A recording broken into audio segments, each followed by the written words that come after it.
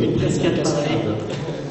Alors Bruno, en, quelques mots, au-delà de ton propre travail et, de toutes les choses formidables sur lesquelles nous allons revenir et qui se passent pour toi, est-ce que ça représente quelque chose, ce fameux siècle de la musique de film, dans le cas des musiciens de cinéma, du musicien pour l'image que tu es Oui, je crois que, évidemment, la, musique de film, pour moi, ça n'a jamais été un genre en soi. C'est-à-dire que j'ai l'impression que le, jazz, euh, qu'une bonne musique de variété, que une musique au contraire très orchestrale peut être une bonne musique de film. Donc, j'ai pas une notion très euh, précise de ce qu'est la musique de film.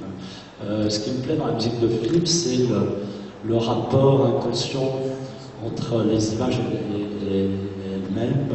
C'est d'essayer de, oui, de faire découvrir au spectateur tout un pan inconnu, invisible, euh, que ne disent pas les personnages ou la narration. Même si tu